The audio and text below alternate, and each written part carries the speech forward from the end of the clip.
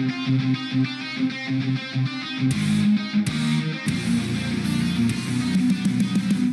masa mendatang, dalam setiap penyusunan rancangan undang-undang, sudah seharusnya pemerintah mendengarkan tuntutan dan harapan masyarakat.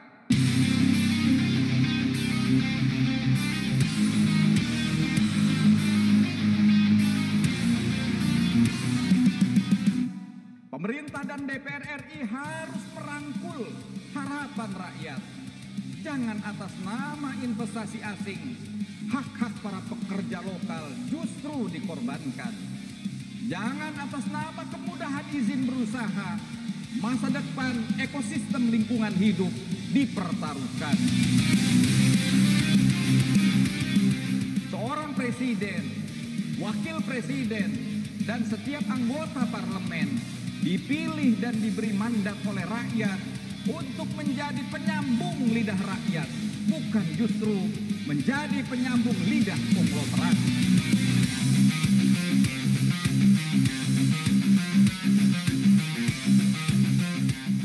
Pemimpin dan wakil rakyat itu disumpah untuk taat dan patuh kepada konstitusi, bukan kepada oligarki.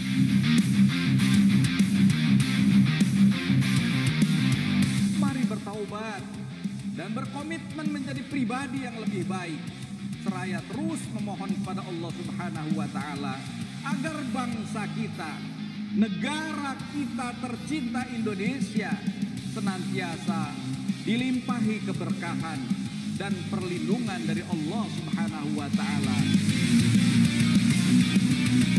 Mari rajut persaudaraan bangsa bersatu untuk kemajuan NKRI. Mari tatap tahun 2022 dengan penuh harapan dan optimisme. Insya Allah, kondisi bangsa kita akan menjadi lebih baik lagi. Walau anna ahlal qura amanu wattaqaw lafatahna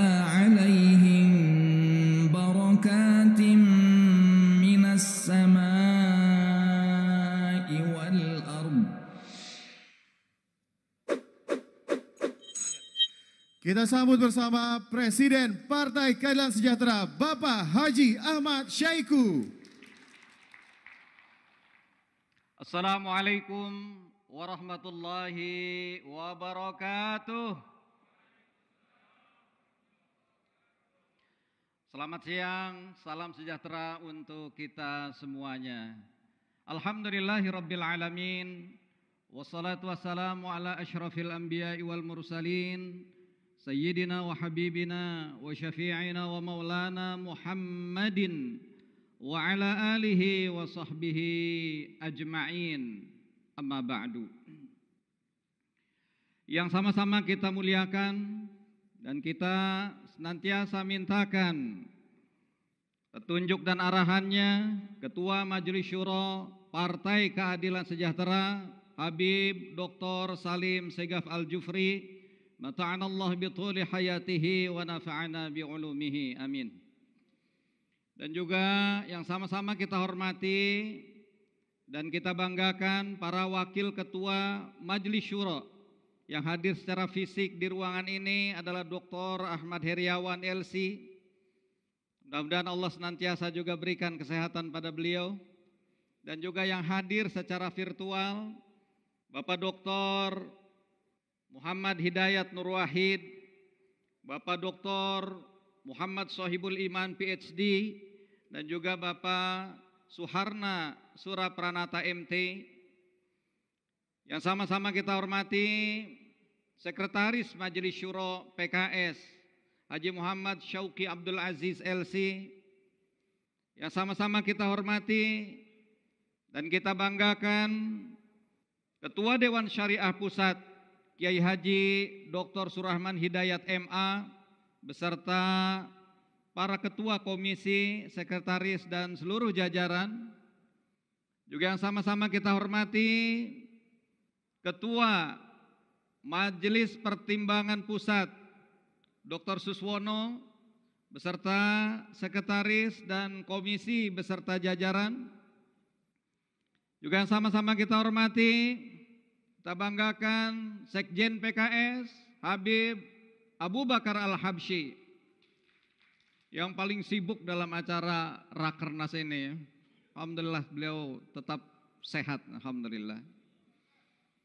Juga yang sama-sama kita hormati Bendahara Umum Partai Keadilan Sejahtera Ustaz Mahmud Mahfud Abdurrahman Esos beserta seluruh jajaran yang saya hormati, saya banggakan Ketua Fraksi DPR RI Dr. Jazuli Juwaini beserta seluruh anggota DPR RI yang mohon maaf saya tidak sebutkan satu persatu tanpa mengurangi rasa takzim dan hormat saya. Juga hadir juga Ketua Fraksi MPR RI Bapak Insinyur Tifatul Sembiring beserta jajaran.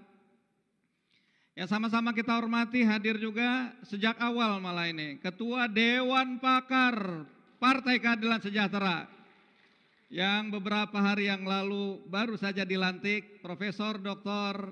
Irwan ya Alhamdulillah beserta jajaran Pak Dr. Irwan Prayitno ini sudah sejak dilantik aktif memberikan masukan-masukan kepada DPP. Jazakallah dan dokter. Juga yang sama-sama kita hormati para wasekjen, wabendum, dan tim kantor staf Presiden Partai Keadilan Sejahtera. Para DPTW yang hadir dalam kesempatan ini, Ketua DSW, Ketua MPW dan Ketua DPW seluruh Indonesia. Saya mohon maaf juga tidak sebutkan satu persatu tanpa mengurangi rasa takzim dan hormat saya. Juga pimpinan dan anggota fraksi PKS, DPRD Provinsi dan DPRD Kota Kabupaten se-Indonesia. Juga para kepala daerah dan wakil kepala daerah yang diusung dan didukung oleh PKS di seluruh Indonesia. Hadir juga insya Allah membersamai kita perwakilan-perwakilan dari PIP di seluruh dunia. Ya, berikan applause. Seluruh kader PKS di seluruh Indonesia yang saya hormati, saya banggakan. Hadirin, hadirat saudara-saudara sekalian yang saya muliakan. Coba kita karena ini temanya adalah semangat ya transformasi dan kolaborasi, saya ingin cek. Dulu kita pernah punya apa namanya gelombang keadilan kan gitu ya. Ah, sekarang yang di ruangan ini kita coba. Saya akan menyebut nanti masing-masing dari Sumbagut, Sumbaksel dan seterusnya. Yang berasal dari Sumbagut, kalau saya sebutkan Sumbagut, segera berdiri dengan teriak sekencang-kencangnya. Uh, gitu ya. Siap? Begitu ya dari PIP. Nah, ketika yang di sini meneriakan ya seraya berdiri, hu maka di mana yang ini kelihatan nggak? Yang virtual angkat tangannya di kamera masing-masing. Siap? Kita cek ya. Sumatera bagian utara. Sumatera bagian selatan. Banjabar, Jati Jaya, ya, Sulawesi, Kalimantan, Santri, Indonesia Timur. Wah, yang ini nggak kelihatan nih virtualnya. Itu baru tes. Nah nanti kalau saya sebutkan Indonesia semuanya berdiri gitu ya. Baik, kita mulai dari timur sekarang. Indonesia Timur. Uh, ya, santri. Kalimantan. Sulawesi. Jati Jaya. Banjabar. Sumbaksel, Sumatera bagian utara, Indonesia. Wow, luar biasa. Ya, Bapak Ibu, saudara-saudara sekalian yang saya hormati, saya banggakan. Tentu alhamdulillah puji syukur selayaknya kita panjatkan kehadirat Allah Subhanahu wa taala. Zat yang telah memberikan kepada kita limpahan nikmat karunia dan kesehatan pada kita sehingga dalam kesempatan kali ini kita bisa melaksanakan rakernas secara hibrid. Yang hadir di sini hadir secara fisik tetapi yang lebih banyak lagi hadir secara virtual melalui YouTube, Zoom maupun juga media sosial yang lainnya. Tentu kita semua yang hadir di sini juga sudah melalui protokol yang ketat dengan dilakukan antigen, sebagian lagi swab dan juga sudah menjaga protokol kesehatan COVID-19 secara ketat. Mudah-mudahan kita terus berdoa semoga Allah melindungi kita semua dan bangsa ini dari wabah COVID-19. Amin. Ya Rabbal Alamin. Salawat teriring salam, semoga senantiasa Allah curahkan atas kedua kita, teladan kita, baginda Rasulullah Sallallahu Alaihi Wasallam, sosok teladan pemimpin manusia yang selayaknya kita ikuti keteladanannya.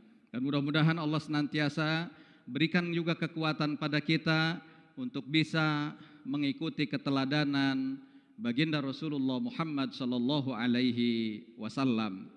Bapak Ibu saudara sekalian, hadirin hadirat sekalian yang saya muliakan, keluarga besar PKS dan seluruh rakyat Indonesia yang menyaksikan tayangan ini yang saya cintai dan saya banggakan.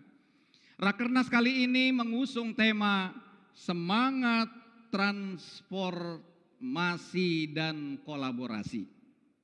Transformasi dan kolaborasi menjadi kebutuhan yang tidak bisa dihindarkan. Keduanya saling berkelindan, tak dapat dipisahkan satu sama lain. Dunia kita dalam satu dekade terakhir ini mengalami perubahan-perubahan yang sedemikian cepat dan tak terbayangkan sebelumnya oleh kita. Bahkan informasi yang datang kepada kita nggak bisa lagi terbendung. Yang belum pernah kita bayangkan sebelumnya. Informasi datang silih berganti, datang teramat sangat cepat. Begitu derasnya Nah, pola interaksi antar manusia mulai juga berubah secara drastis. Kita menamakan sekarang ini dengan era digital atau sebagian menyebutnya revolusi industri 4.0. Nah, oleh karena itulah tentu kita pada titik ini sebagai partai maka PKS harus mampu beradaptasi dengan perubahan-perubahan zaman. Siap? Siap? Allahu Akbar. Karena kalau tidak bisa berinteraksi mengikuti perkembangan dan perubahan zaman, tentu kita akan tergilas. Kita berusaha untuk melakukan transformasi digital dengan membuat digitalisasi pada program-program yang kita lakukan. Tadi sudah disampaikan oleh Sekjen, ada EKTA, ada E-Perpus, ada EBCAD, ada E-Iuran anggota, dan E-Arsip. Tentu saya mengucapkan sekali lagi jazakumullah khairan pada sekjen beserta jajaran yang sedemikian semangat untuk mewujudkan digitalisasi dan ini menjadi bukti bahwa kita insya Allah siap melangkah bagian dari good political party governance. Ya. Bapak Ibu saudara-saudara sekalian yang saya hormati, saya banggakan.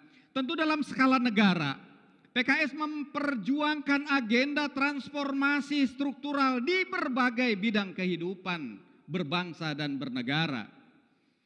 Seperti di bidang politik, di bidang hukum, birokrasi, sampai di bidang ekonomi.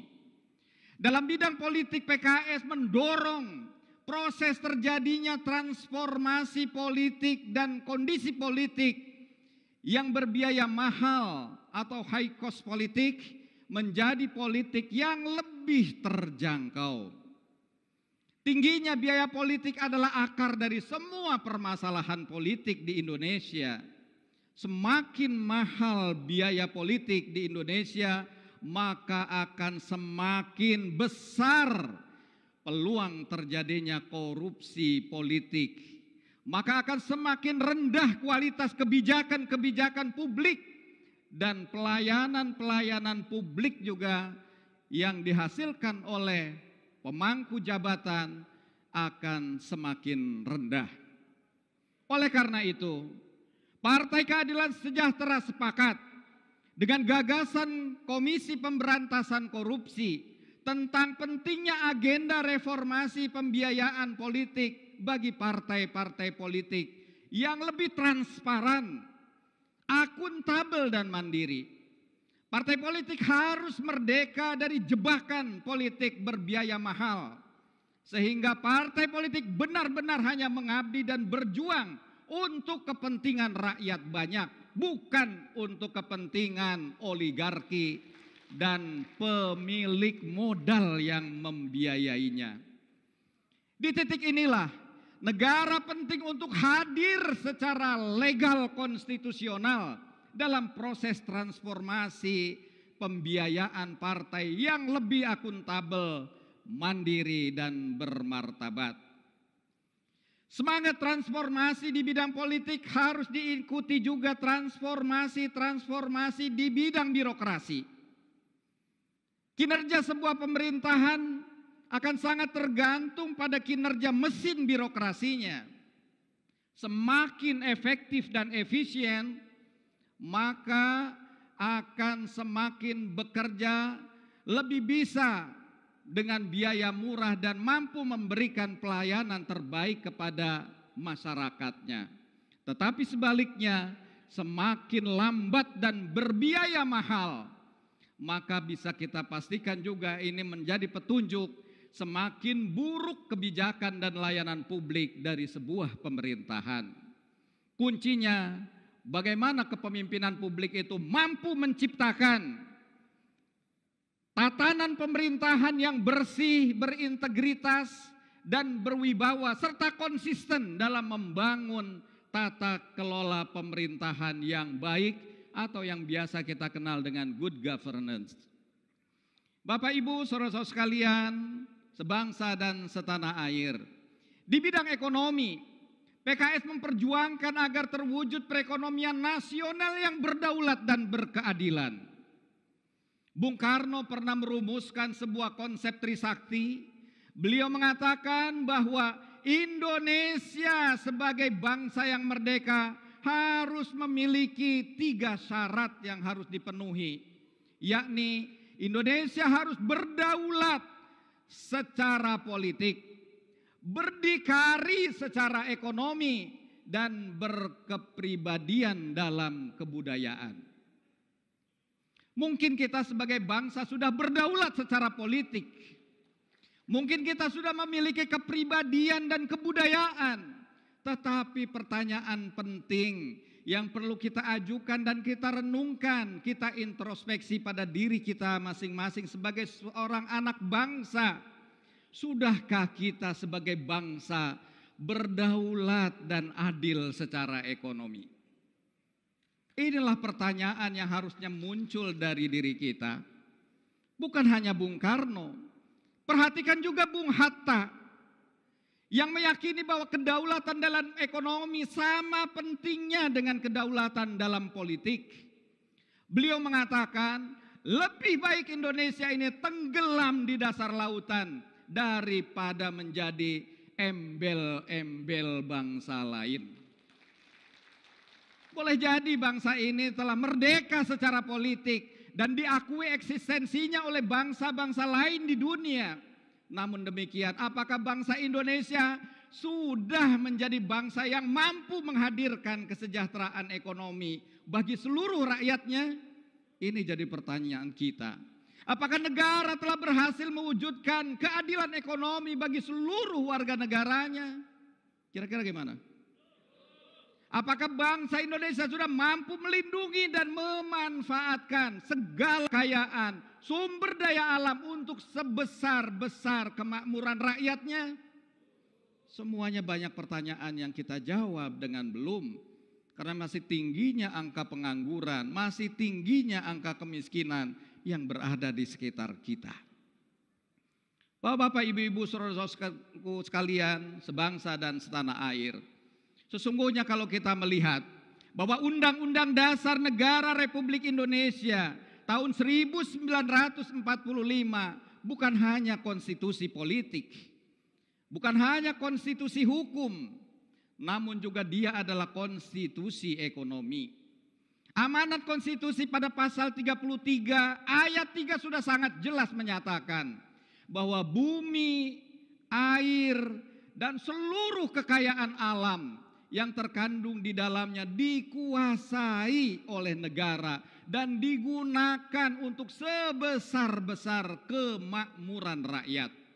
Maka pertanyaan yang tentu perlu kita tanyakan pada diri kita masing-masing adalah apakah seluruh kekayaan sumber daya alam Indonesia benar-benar sudah dikelola untuk kemakmuran rakyat atau hanya demi kepentingan segelintir konglomerat.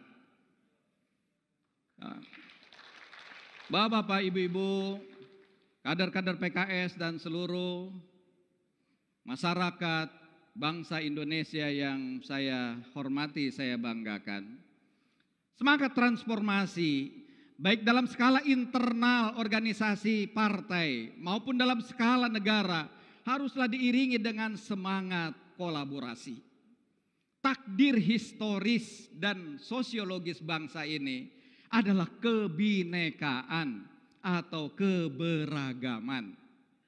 Bangsa ini terlahir dengan beraneka ragam suku, beraneka ragam adat, beraneka ragam ras, dan beraneka ragam agama. Maka keberagaman ini adalah anugerah yang patut disyukuri bersama sebagai bangsa. Adalah rumah kita Indonesia ini yang harus kita jaga dan kita syukuri bersama. Oleh karena itu kita harus merawatnya, menjaganya dan membangunnya agar semakin kuat, semakin kokoh dan semakin nyaman untuk ditempati bersama-sama oleh seluruh anak-anak bangsa Indonesia. Semangat kolaborasi inilah yang melatar belakangi DPP PKS secara aktif membangun politik silaturahim melalui rangkaian silaturahim kebangsaan dengan berbagai elemen bangsa, lintas partai, lintas kelompok, lintas agama. Semangat transformasi bangsa akan mustahil terwujud tanpa hadirnya semangat kolaborasi di antara anak-anak bangsa. Oleh karena itu silaturahim ini kiranya bisa juga nanti diterapkan di DPW DPW, di DPD DPD, di DPC DPC dan di DPRA DPRA. Siap? Allahu Akbar. Maka bangsa ini membutuhkan kolaborasi, bukan segregasi apalagi polarisasi. Bukan segregasi apalagi polarisasi. Ini harus dijaga oleh kita semua. Jangan sampai kita terjebak dengan segregasi dan polarisasi. Bang titik temu bukan malah memperbanyak dan memperlebar jurang perbedaan di antara elemen-elemen anak bangsa. Bapak Ibu saudara-saudara sekalian yang saya hormati saya banggakan. Perbedaan adalah sebuah keniscayaan dari sebuah keanekaragaman bangsa.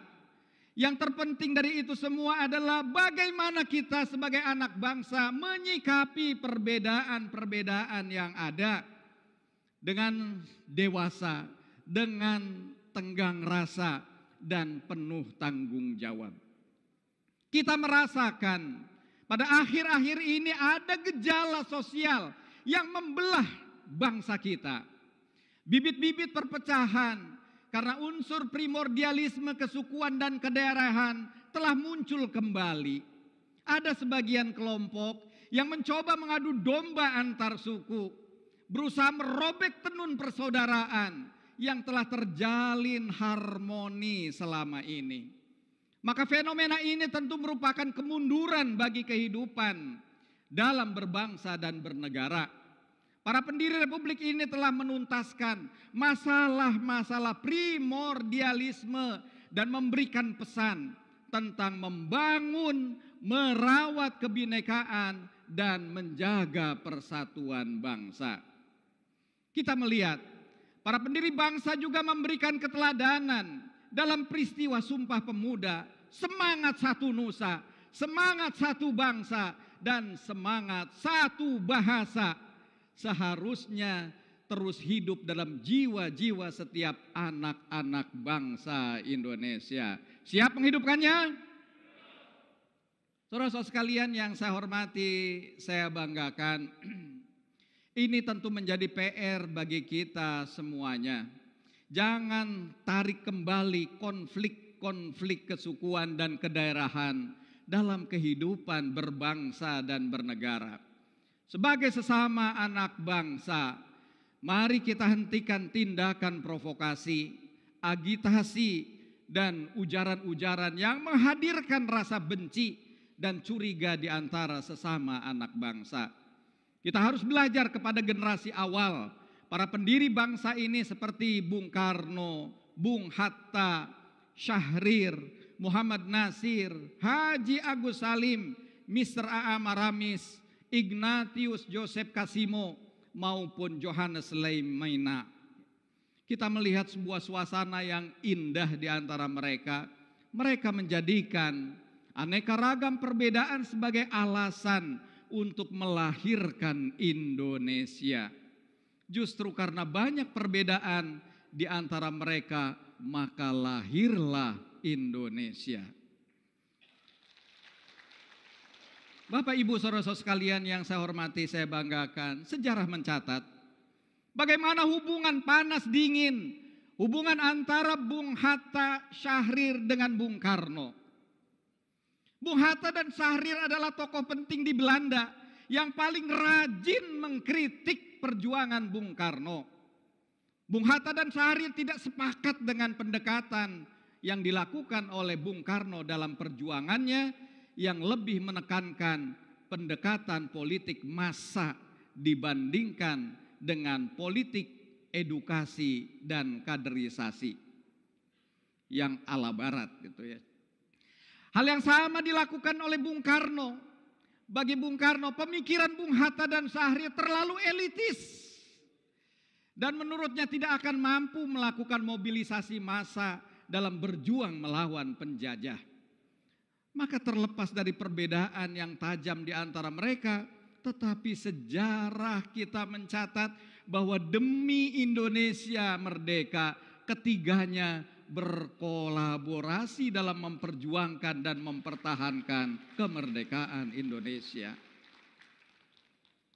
Sejarah juga mencatat bagaimana Muhammad Nasir, tokoh Islam dan pemimpin partai Masyumi yang mampu membangun kolaborasi dengan lintas partai, baik partai nasionalis, partai Katolik, dan Partai Kristen dalam memperjuangkan agenda Mosi Integral Nasir, yaitu membubarkan Republik Indonesia Serikat dan mengubahnya kembali menjadi negara kesatuan Republik Indonesia.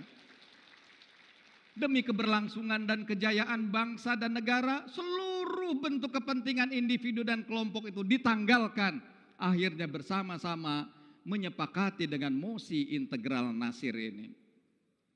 Dalam perjalanan sejarah berikutnya, hubungan antara Muhammad Nasir sebagai tokoh politik Islam dengan Ignatius Joseph Kasimo dari Partai Katolik Indonesia dan juga John Leymena dari Partai Kristen Indonesia terjalin dengan sangat baik. Bersama IJ Kasimo dan Johannes Leimena, Muhammad Nasir bersama-sama berjuang untuk meluruskan konsep demokrasi terpimpinnya Bung Karno. Yang dianggap sudah melenceng dari jalan demokrasi dan Pancasila. Itu mereka berkolaborasi. Oleh karena itu hadirin yang saya muliakan, keluarga besar PKS dan seluruh rakyat Indonesia yang saya cintai, saya banggakan. Jati diri PKS adalah partai Islam yang rahmatan lil alamin. Makna rahmatan lil alamin artinya Islam wasatiyah. Sebagaimana yang dipesankan kemarin nasihat dan harapan dari wakil Presiden Republik Indonesia Profesor Dr. Ma'ruf Kiai Haji Ma'ruf Amin. Ini yang dipasankan oleh beliau. PKS harus menjadi dan menjaga Islam wasatiyah. Siap kira-kira menjaga Islam wasatiyah? Yakni Islam yang berkarakter moderat, tidak ekstrim kiri maupun tidak ekstrim kanan, tetapi tetap di tengah-tengah, proporsional dan adil. Sikap moderasi PKS termaksud dalam anggaran dasar dan anggaran rumah tangga partai yang menetapkan visi dan misi partai sejalan dengan cita-cita dari para pendiri bangsa yang tertulis dalam pembukaan Undang-Undang Dasar Negara Republik Indonesia tahun 1945. Sebagai partai Islam, PKS menempatkan visinya ingin menjadi partai pelopor dalam mewujudkan cita-cita nasional bangsa Indonesia. Sebagaimana termaksud dalam pembukaan Undang-Undang Dasar Negara Republik Indonesia tahun 1945, sedangkan misinya adalah ingin menjadikan PKS sebagai sarana perwujudan masyarakat madani yang adil, sejahtera, dan bermartabat dalam keutuhan negara kesatuan Republik Indonesia berdasarkan Pancasila. Bapak Ibu, saudara-saudara sekalian yang saya hormati, saya banggakan. Bagi PKS, Pancasila, Undang-Undang Dasar Negara Republik Indonesia tahun 1945, Negara Kesatuan Republik Indonesia dan Bhinneka Tunggal Ika adalah konsensus dasar kehidupan berbangsa dan bernegara. Yang kita sudah yakini, kita sudah selesai. Selesai dibahas oleh para pendiri bangsa dan tidak perlu kemudian diurai-urai kembali. Setuju? Nah, Akhir-akhir ini kita menyaksikan bahwa ada narasi-narasi yang ingin membenturkan umat Islam di Indonesia dengan Pancasila dan NKRI. Seolah-olah pilihan hidup menjadi muslim yang taat dan patuh kepada ajaran agamanya adalah sebuah pilihan hidup yang tidak nasionalis dan bertentangan dengan Pancasila. Tentu stigma seperti ini sangatlah menyesatkan. Atas nama rasa kemanusiaan dan keadilan, stigma seperti ini telah mencederai nilai, mencederai nalar dan mencederai etika publik. Jangan sekali-kali menghina nilai, nalar dan etika publik dengan propaganda yang tidak masuk akal dan mengganggu nalar kita sebagai manusia yang rasional.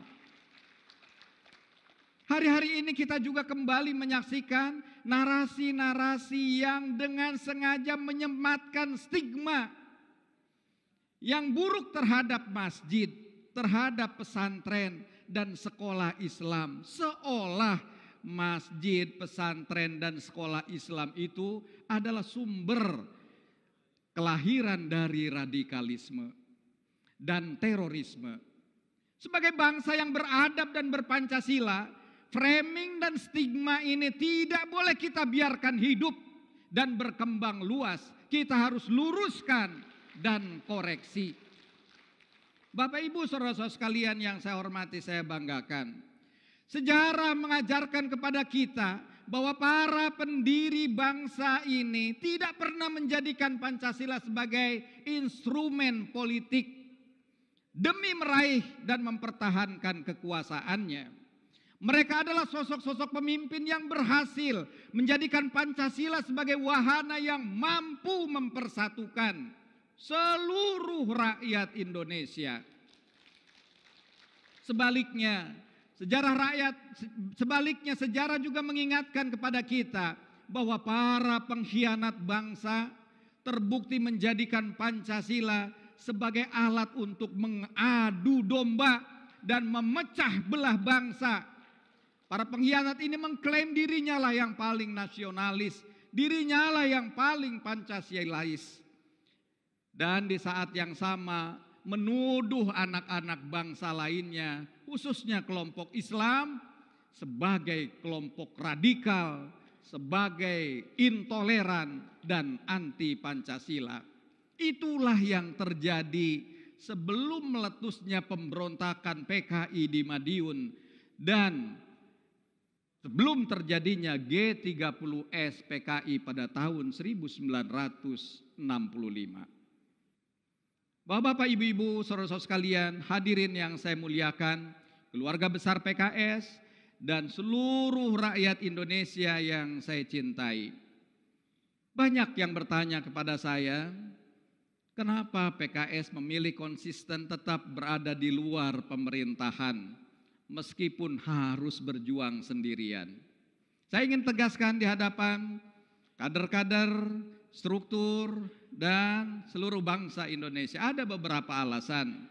Yang pertama adalah sikap PKS sebagai oposisi di luar pemerintahan adalah hasil musyawarah majelis syuro yang menjadi muaranya bertemu seluruh aspirasi dan keinginan anggota dan pemilih PKS yang oleh karena itu pilihan oposisi ini bukan hanya sekedar pilihan asal beda tetapi merupakan pilihan politik kolektif yang secara sadar kita putuskan bersama-sama. Yang kedua, sikap PKS sebagai oposisi adalah ijtihad politik untuk menjaga kepatutan dan kepantasan negara demokrasi. PKS ingin menjadi kekuatan penyeimbang pemerintah agar roda pemerintahan berjalan di atas jalur yang tepat power must be checked, power must be controlled. Kekuasaan itu harus diawasi dan kekuasaan itu harus dikontrol. Karena tabiat kekuasaan memang seperti itu. Tabiat kekuasaan memang akan cenderung menyimpang. Tanpa ada kontrol dari oposisi, maka masa depan demokrasi di Indonesia perlahan-lahan akan mati untuk memastikan arah perjalanan pemerintah berada pada jalur yang benar sesuai konstitusi, maka dibutuhkanlah keberadaan parlemen yang kuat. DPR RI harus menjadi penyambung lidah bagi warga, bukan menjadi penyambung lidah penguasa. DPR RI adalah kepanjangan tangan rakyat Indonesia, bukan kepanjangan tangan penguasa. DPR RI bukan tukang stempel, atas keinginan-keinginan pemerintah semata. Sikap oposisi PKS di parlemen terbukti mendapatkan dukungan yang banyak dari luar parlemen. Banyak sikap PKS mendapatkan pembenaran. Sikap konsisten PKS menolak RUU Cipta Kerja membuahkan hasil dukungan dari Mahkamah Konstitusi bahwa undang-undang tersebut adalah inkonstitusional bersyarat. Oleh karena itu saya mengucapkan jazakumullah khairan pada ketua fraksi PKS DPR RI dan ketua fraksi PKS MPR RI yang sedemikian terus konsisten berjuang di parlemen untuk menyuarakan apa yang diinginkan oleh partai. Bapak Ibu saudara-saudara sekalian yang saya hormati, saya banggakan dalam rangka memperkuat sikap oposisi DPP sudah menunjuk 10 orang juru bicara DPP PKS untuk memperkuat sikap oposisi PKS yang akan berkomunikasi dengan publik tentang bagaimana sikap dan perjuangan yang dilakukan oleh Partai Keadilan Sejahtera. Saya mengucapkan terima kasih juga kepada insan media yang sudah sedemikian rupa terjalin dalam tukar menukar informasi dan pemberitaan kepada masyarakat bangsa Indonesia. Saya mengucapkan terima kasih sehingga ini mencerahkan seluruh elemen masyarakat Indonesia. PKS melihat peran besar media sebagai pilar demokrasi yang membantu masyarakat melihat dan mendengar sikap PKS terhadap sebuah persoalan, termasuk kepada kekuatan sipil, akademisi, dan para pakar yang selama ini terus menjalin komunikasi yang intens dengan Partai Keadilan Sejahtera. Hadirin hadirat sekalian yang saya muliakan, keluarga besar PKS dan seluruh rakyat Indonesia yang saya cintai. rancangan undang-undang ibu kota negara yang baru saja disetujui bersama DPR RI dan pemerintah. PKS menjadi satu-satunya fraksi yang menolak RUU tersebut. PKS menolak karena dua hal. Pertama, RUU IKN bermasalah baik secara formil dan prosedural. Baik secara formil atau prosedural maupun secara material atau substansial. PKS memandang bahwa RUU IKN dibahas secara tidak memadai, secara ugal-ugalan, secara serampangan, dan secara asal-asalan. Kebijakan pemindahan ibu kota tidak boleh dilakukan secara tergesa-gesa seperti itu. Sebagai pemimpin bangsa, pemerintah seharusnya bertanya kepada rakyatnya terlebih dahulu, kepada rakyat yang dipimpinnya, gelar diskusi dan serap aspirasi secara terbuka di kampus-kampus, organisasi-organisasi masyarakat, komunitas-komunitas masyarakat, kepada juga komunitas masyarakat adat, organisasi bisnis, pada pelaku-pelaku usaha, pada TNI Polri, tokoh-tokoh agama, dan tokoh-tokoh masyarakat, serikat buruh, birokrat dan pekerja, semua stakeholder bangsa ini harusnya memberikan kontribusi apa saran-saran mereka. Tugas pemimpin sebelum mengambil keputusan adalah mendengar suara hati rakyat yang dipimpinnya. Adalah sikap yang tidak bijak jika pemimpin memaksakan kehendaknya dan kelompoknya tanpa mempertimbangkan suara hati rakyat yang dipimpinnya. Memindahkan ibu kota bukan sekedar memindahkan bangunan saja. Ini bukan sekedar properti, proyek properti, tetapi ini adalah mega proyek membangun peradaban bangsa. Memindahkan ibu kota harus dihitung seluruh variabel yang menyertainya. Di sana ada dampak ekonomi, ada dampak terhadap anggaran negara. APBN kita apakah sanggup untuk menopangnya? Di sana juga dampak-dampak masyarakat yang ada di sekitar ada dampak bahkan dalam kehidupan rumah tangga karena nantinya toh akan dibayar dengan pajak-pajak rumah tangga yang pada akhirnya juga akan menjadi penderitaan bagi keluarga-keluarga Indonesia. Jadi berbagai dampak-dampak itu belum lagi dampak ekologis, ekosistem satwa dan fauna, semuanya akan terdampak. Inilah yang harus diperhitungkan dengan matang dalam mengambil kebijakan pemindahan ibu kota. Banyak variabel yang harus dipertimbangkan. Terlebih lagi kita hari-hari ini masih sedang menghadapi gelombang ketiga COVID-19. Hari-hari ini rakyat semakin sulit dan menjerit betapa susahnya kehidupan ekonomi mereka. Janganlah pemerintah menambah beban kebijakan yang semakin memberatkan beban kehidupan mereka. Harga minyak goreng sekarang gimana Bu? Naik apa turun? Harga minyak goreng naik, mahal, ya dan langka tentu akan menjadi membuat ibu-ibu menjerit karena biaya hidup pasti juga akan terus semakin meningkat. Ini tentu memprihatinkan karena Indonesia adalah salah satu negara pengekspor minyak kelapa sawit mentah terbesar di dunia tapi ironis justru minyak goreng di kita mahal. Saya meminta kepada seluruh pejabat publik dari PKS untuk turun ke lapangan. Ya. Dengarkan langsung jeritan suara hati masyarakat. Dengarkan keluhan para petani, dengarkan keluhan para nelayan, dengarkan keluhan para pekerja dan buruh dengarkan keluhan-keluhan ibu-ibu di pasar-pasar, dengarkan keluhan rakyat Indonesia di lapangan. Dan bukan hanya mendengarkan, perjuangkan aspirasi mereka melalui kebijakan-kebijakan sesuai dengan apa yang kita mampu merumuskannya. Siap? Bapak Ibu saudara sekalian yang saya hormati, keluarga besar PKS dan seluruh rakyat Indonesia yang saya hormati, saya banggakan. Demikianlah pidato yang dapat saya sampaikan dalam kesempatan ini. Sebelum saya akhiri atas nama keluarga besar Partai Keadilan Sejahtera, kami mengucapkan selamat Harlah ke-96 Nahdlatul Ulama. Jelang satu abad Nahdlatul Ulama merawat jagat, membangun peradaban.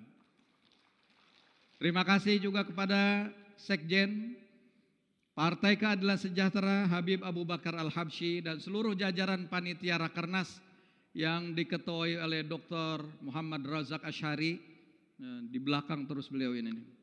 Atas dedikasinya yang sungguh sangat luar biasa dalam menggelar Rakernas PKS 2022 yang begitu sangat baik dan sangat semarak. Ya, semoga Rakernas PKS dapat menjadi momentum untuk menumbuhkan kesadaran internal dan kesadaran eksternal untuk terus melakukan transformasi dan kolaborasi. Dalam rangka mewujudkan cita-cita para pendiri bangsa untuk Indonesia yang merdeka, bersatu, berdaulat, adil dan makmur dalam naungan negara kesatuan Republik Indonesia. Saya ingin menyampaikan dua buah pantun. Jalan-jalan ke kota Bekasi. Keliling kota ditemani istri. Semangat transformasi dan kolaborasi. PKS kokoh melayani negeri. Satu lagi, indah pancaran sinar mentari. Sungguh agung ciptaan Tuhan Mari jaga keutuhan NKRI dengan sentuhan kebersamaan. Siap menjaga semangat? Siap menjaga transportasi? Siap menjaga kolaborasi? Allahu Akbar! Allahu Akbar! Allahu Akbar! Merdeka! Kurang lebih saya mohon maaf. Allahul muwafiq ila aqwamit thariq. Nasrun minallahi wa fathun qarib. Assalamualaikum warahmatullahi wabarakatuh. Waalaikumsalam Waalaikumsalam warahmatullahi wabarakatuh.